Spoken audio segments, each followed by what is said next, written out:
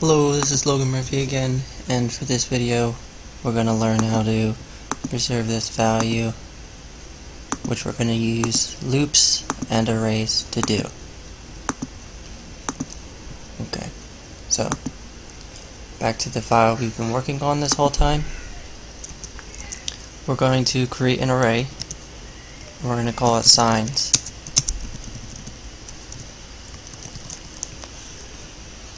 Okay, so this is an array. Pretty much an array is just a bunch of items that are grouped together in one container.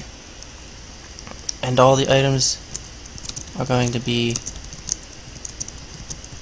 strings. So whenever we use these quotes, we mean, uh, in computer science we call this a string. Um, I refer to it as, I guess, words.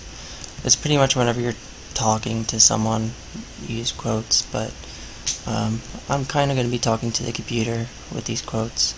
And this is going to be an array of our different signs, plus, minus, multiply, divide, and the empty option. So this is just a bunch of items in one collection, and the beauty of an array is you're able to access different items from it. So to do that, we use brackets and we give it an index to access. And I'm just going to put that in a comma for now. But if I were to say sign sub zero, I would get this empty quote, this empty string from the array.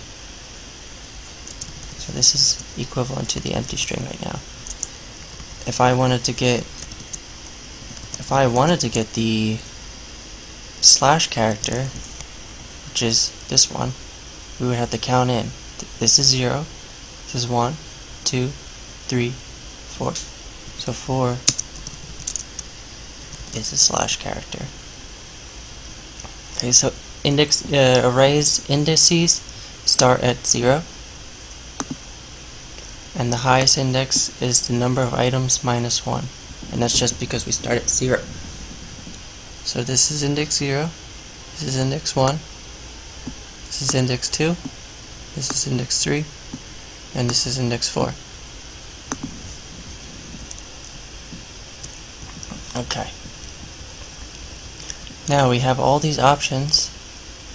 We don't want to use that code anymore, so we're going to generate it using PHP. So, we did arrays, now we're doing loops.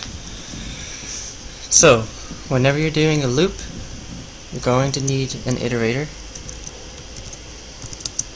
which we will call i, and we'll start it at 0. So this, we can call it an iterator, we call it the index. This just tells us where we are in the loop. Every loop needs to know where it's at, and every loop needs to know where it's at right? Don't lose track of where you're at in your loop. So, the loop that we use is called a while loop. And it kind of looks like an if, except we use the word while. The difference between while and if, a while will loop over and over again, and the if will not.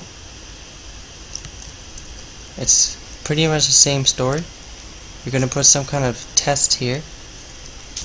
And we want to make sure that where we're at, so i is really telling us what index we're at.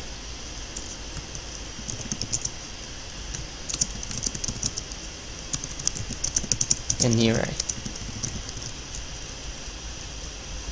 And we want to make sure that the index that we're at in the array is not higher than the index, the highest index in the array. So we need to make sure that i, which is where we're at, is less than the count of the array, which is 5. So so long as i the, is less than 5, we can do this loop. And once we do the loop, we go to the next index in that array. We go to the next thing, next item. Just about every loop you're, you're going to deal with will have something that looks like this. You're going to have something that changes, is less than something that doesn't. Okay? So I is changing. I plus plus means increase I by 1. So I is 0. We go into this loop. I plus plus I is 1. And when we're at the end of the loop, we go back to the top of the loop. And we go into the loop again. Because the count of signs is 5. There's 5 items in this array. 1, 2, 3, 4, 5. So long as 1 is less than 5, we'll do the loop again. i plus plus, i is 2. We're at the end of the loop, we'll go back to the beginning. Is 2 less than 5? Yes it is. So we'll go into the loop. i plus plus, i is 3. We'll go back up. Is 3 less than 4? Yes it is. So we'll go back in. Or actually 5, sorry. Is 3 less than 5? Yes it is. We'll do it again. i plus plus, i is 4. We go back to the top. Is 4 less than 5? Yes, it is. And so, and so on until i is 5. Is 5 less than 5? No, it's not. And we never go outside the bounds of this array. So once we got to 5, 5 is less than 5, we left this array, and we didn't go out of the bounds of the array. Okay? So what you want to do is get the next item from the array. And you do that using bracket notation and you use the index that we're at. This is the whole reason that we have i. So i tells us where we're at in the array, so that's what we should get from the array. The ith thing. Okay, so we're going to echo the option tag, echo sign that we're at, echo the closing option tag.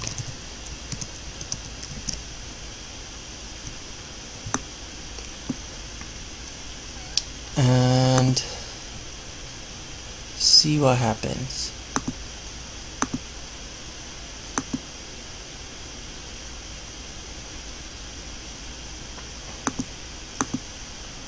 So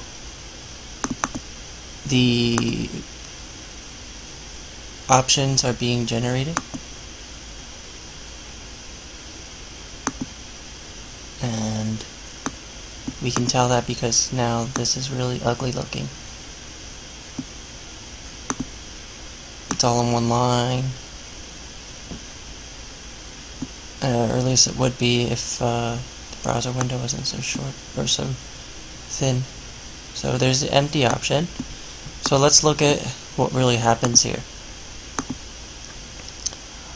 When we first, we st start doing HTML right here and we start doing PHP code we set i equal to 0.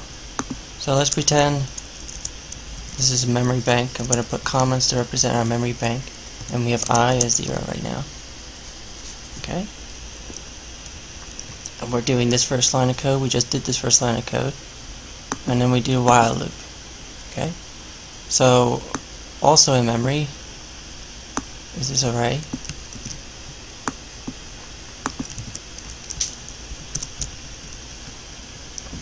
Okay? And we're going to ask, what is the count of this array? That's 5. So just put that in a comment so that we don't forget that the size of the array is 5. So we do a test. What's i? I is 0. Is 0 less than 5? If that's true, we do. s equals sign sub i. So now we have this new variable called s and that stores signs, so we need to look at this in memory. I, 0, so the 0 thing.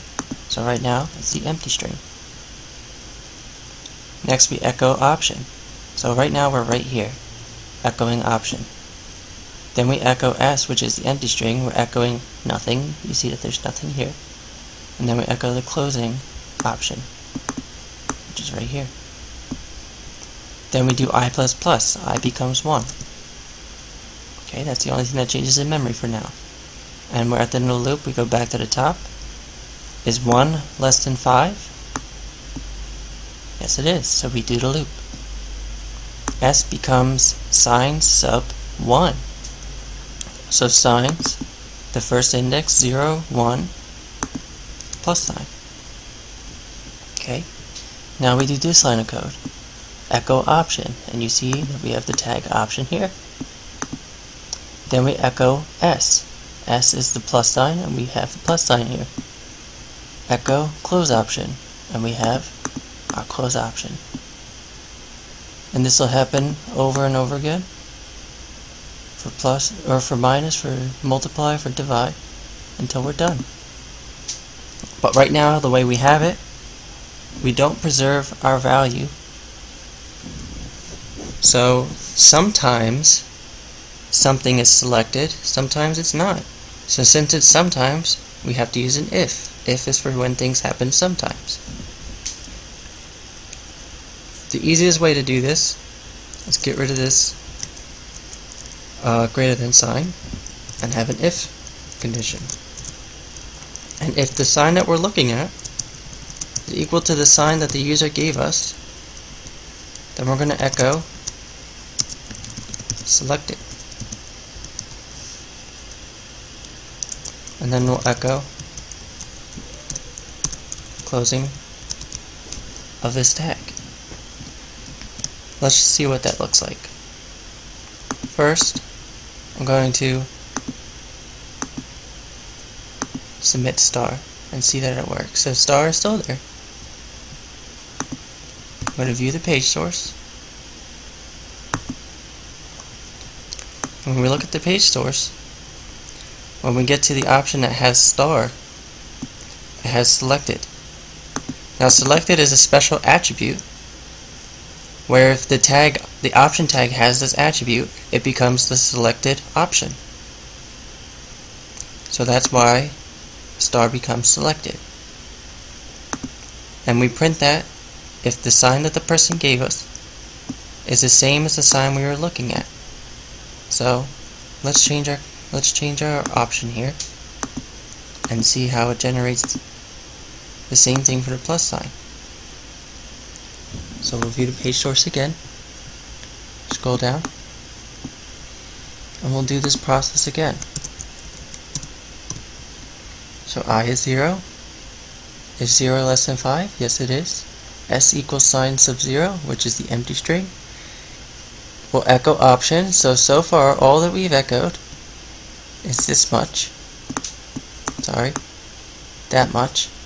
Up to the closing, or the greater than sign is s equal to sign. So I haven't been writing this, but sign, in this instance, in this running of the program, I have plus as the sign. Because when I pressed submit, plus was here. So the name of this input is sign. Sign was posted, and the post was stored in the variable called sign. So sign has plus in it right now. So is s, which is empty string, equal to sign, which is plus? And the answer is no. So you don't print the word selected. And you see that the word selected is not printed over here. Now we print the, the greater than sign, which is right here. Then you print s. s is the empty string, so you print nothing. And then you print the closing option, which is right here. Then we increase i by 1 and we're at the end of our loop. Go back up, is 1 less than 5? Yes it is. Sign sub i, sign sub 1, sign sub 1 is plus, so s is plus for this line of code. Now we echo option, this much is s plus equal to sign plus, yes it is. So we echo space selected. So here's the space selected. Then we echo the greater than sign. Then we echo S, which is the plus sign. Then we echo option, which is the closing option tag. So that's using for loop and if also and arrays in order to make a persistent select or combo box. I'm Logan Murphy and I'll see you next video.